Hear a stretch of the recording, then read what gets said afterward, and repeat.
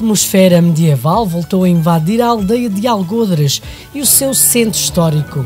E durante dois dias, a antiga vila regressou ao tempo dos reis e rainhas, na terceira feira renascentista Terras de Algodres.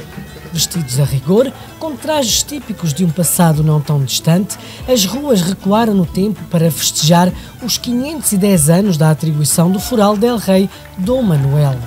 Foi uma ideia não só, não só minha, mas uh, principalmente minha, uh, que decidimos que a, a, própria aldeia, ou antiga vila, uh, tinha um contexto histórico muito uh, apetecível, uh, tem uma, a nível, a nível paisagístico é, é de um, uma delícia a nível, a nível de quem gosta de, de turismo paisagístico e uh, decidimos que tinha que se fazer alguma coisa para alavancar a, a antiga vila.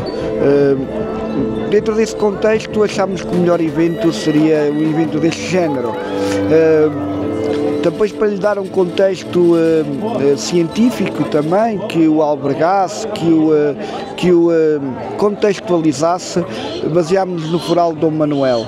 O Foral Dom Manuel foi dado em 1514 e, claro, isso contextualizava todo este evento a nível do Renascimento e mesmo até os próprios edifícios, o próprio Pelourinho do século XVI, a igreja que está contextualizada muito acerca do século XVII, século XVI também, então fez-se sempre nesse contexto.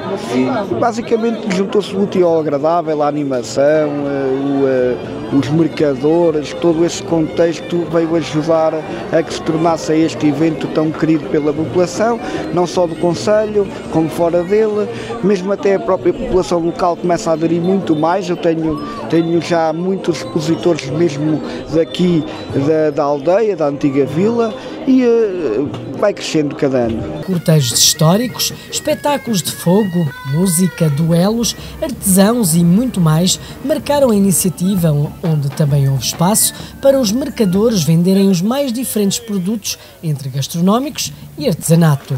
Nós aqui temos, neste momento, só tem, ainda temos duas variedades, ainda não tiramos o mel deste ano, é tudo mel do ano passado, é mel multifloral, de rosmaninho, silva, carvalho e castanheiro, e depois também temos o mel do bosque, que é o de carvalho.